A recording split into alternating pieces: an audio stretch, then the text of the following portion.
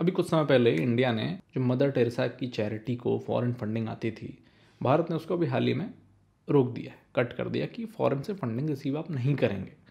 ऐसे कुछ समय पहले बहुत सारे मदरसा और तमाम जगहों को फॉरेन से फंडिंग, यानी कि अरब वर्ल्ड से फंडिंग आती थी, उन पर भी रोक लगाने की कोशिश की गई। ऐसे एक और इंस्टीट्यूशन था कैम्ब्रिज एनालिटिका उसको भी मोदी जी ने अभी बाहर निकाला। ऐसे कुछ समय पहले नोटबंदी की, जिसका असर हमें तब दिखा जब तीन सौ सत्तर हटा राम मंदिर का जजमेंट आया, काशी विश्वनाथ बन गया, ये सब तमाम बहुत बड़ी बड़ी चीज़ें हुई। तो तब आपको हाथों में लोगों के पत्थर दिखे, ना कि ए के फोर्टी सेवन बम ऐसा कुछ नहीं दिखा।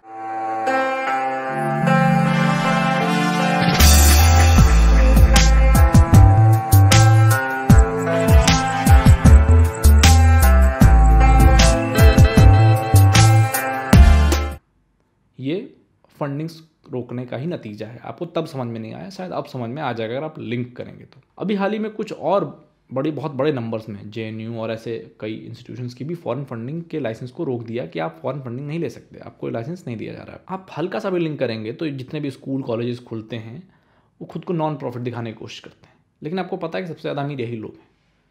इधर से नहीं तो उधर से फंडिंग्स आती हैं, इनका ब्लैक का पैसा वाइट का हो जाता है और ये सारे मौज काटते हैं और अपने मोटिवेशन हैं, जो भी इंटेंशन है, उसको साधने की कोशिश करते हैं। उनके पीछे जो भी नेता पॉलिटिशियन बिजनेसमैन जिसकी भी बैकिंग होती है, वो अपना मकसद साध लेता है। तो यहाँ जब फंडिंग आती है, चाहे अरब वर्ल्ड से है, चाहे क्रिश्चियन वर्ल्ड से है, यहाँ कन्वर्जन्स होते हैं, यहाँ पॉलिटिकल पार्टियाँ अपना वोट बैंक जमा करती हैं, यहाँ बेमतलब के कम्युनल हारमोनी खराब होती है राइट्स होते हैं, यहाँ की बहुसंख्यक कम्युनिटी को गाली दी जाती है उसी फॉरेन फंडिंग के दम पे। तो अब जब उस पर रोक लगती है तो कुछ लोग तितल बितल हो जाते हैं कि भैया, ये क्यों हो रहा है?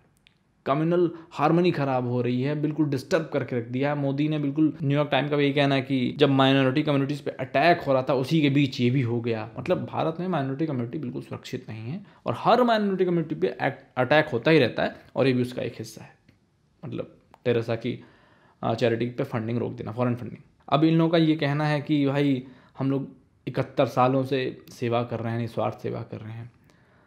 और सेवा के आड़ में झोली बांट बांट के, खाना बांट बांट के कन्वर्जन कराते हैं।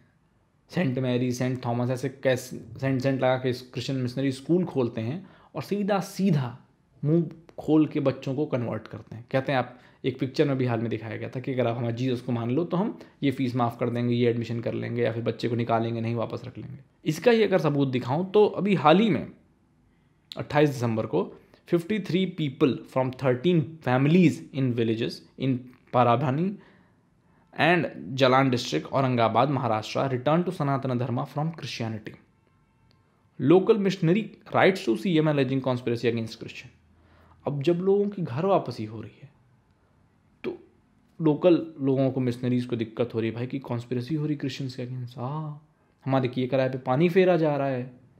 लोगों को रियलाइजेशन हो रहा है, लोग वापस आ रहे हैं। लोग अब जाहिल नहीं रहे। लोगों के पास शायद अब पहले से, जो पहले गरीबी थी, उसका फ़ायदा उठा लिया गया। अब शायद उनके हाथ में कुछ पैसा आ रहा होगा। अब शायद देश की इकनॉमी इंप्रूव हो रही होगी। अब शायद देश उतना गरीब नहीं है जब आप मदर टेरेसा के टाइम पे था।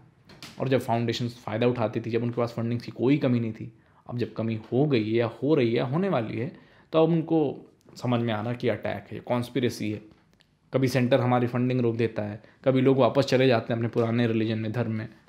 तो बिल्कुल किसी ना किसी तरह की कॉन्स्परेसी ही है भाई, समझदार हो जाना। तो ये जैसी सेवाएँ हैं आपकी तो हमें ऐसी सेवाएँ आपसे नहीं चाहिए। कृपया हर वो कम्युनिटी जो सोचती है कि हम ऐसी सेवाएँ दे रहे हैं फंडिंग्स लेके इधर उधर कुछ भी करके लोग कन्वर्ट कर रहे हैं और उसको भी वो फ्रीडम ऑफ़ रिलीजन समझते हैं तो उस अगले का भी वो फ्रीडम बनता है कि वो जब चाहे तब वापस चला जाए, वो एक्सेप्ट करे, ना करे, आज कर, ले कल वापस चला है उसकी मर्ज़ी है। अभी आपको पता है यूपी में चुनाव का माहौल कितना गर्म है।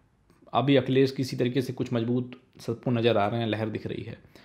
अपोजिट में सब एक एक तरफ़ हो चुके हैं, भाजपा वर्सेज अपोजिशन ऐसे वैसे हो गया। मतलब कोई एक पार्टी नहीं, सब मिली मिली वक्त चल रही। यूपी पुलिस ने भी कुछ समय पहले ही बहुत सारे लोगों को पकड़ा था कि इधर उधर से रोहिंग्याओं को बसाया जा रहा है गुट गुट में, ग्रुप ग्रुप में, कॉलोनीज कॉलोनी में, हर जगह बसाया जा रहा है।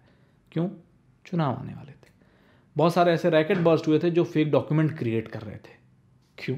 क्योंकि उनको ऑथेंटिक करना था लीगलाइज करना था। अभी हाल ही में UP police burst fake Aadhaar and labour card racket Asif Khalid Javed arrested with I R I S fingerprint device and fake stamp etcetera कब की न्यूज़ है? Twenty nine December twenty twenty one कुछ दिन पहले की बात। क्यों? क्योंकि कुछ लोगों को बिल्कुल वोटर आईडी के लिए एलिजिबल करना था और नया वोट बैंक बनाना था, ताकि कुछ पर्टिकुलर पार्टियाँ इससे बेनिफिट ले सकें और अपने वोट बैंक को साध सकें, क्योंकि यहाँ पे सीधा दो टुक की लड़ाई है। भाजपा को अगर कहा जाता है कि हिंदुओं की पार्टी है, हिंदुओं का ही वोट बैंक लेके चल रही है तो जो नॉन भाजपा वाले हैं, वो शुद्ध शुद्ध मुस्लिम अपीजमेंट करते हैं। इस बात के लिए ओवैसी भी मंचों से बोल चुके हैं। और ऐसा केजरीवाल भी करते हैं, ऐसा अखिलेश भी करते हैं, इन सब चीज़ों के लिए लोग बहुत फ़ेमस हैं। खैर, इस वीडियो में इतना ही। अच्छा लगा तो लाइक शेयर सब्सक्राइब ज़रूर करिएगा।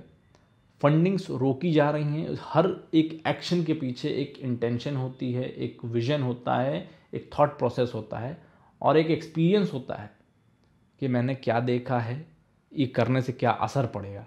तो अगर अगले ने कुल्हाड़ी सही जगह मारी है तो रिएक्शन कहीं ना कहीं होगा, उसका रिज़ल्ट आपको दिखेगा। अच्छा लगा हो तो शेयर करिएगा, नया हो तो सब्सक्राइब की बना मत जाइएगा। किसी भी तरह का सपोर्ट करना हो डिस्क्रिप्शन में सब कुछ दिया है, यहाँ आप साइड में देख सकते हैं। समर्थन ज़रूर करिएगा। फिर मिलते हैं अगले वीडियो जय हिंद, वंदे मातरम।